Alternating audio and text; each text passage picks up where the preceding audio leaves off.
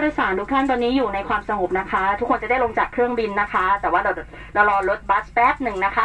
ไม่ต้องกลัวนะคะ ไม่ต้องตกใจเดี๋ยวนั่งรออยู่ในความสงบสักครู่นะคะ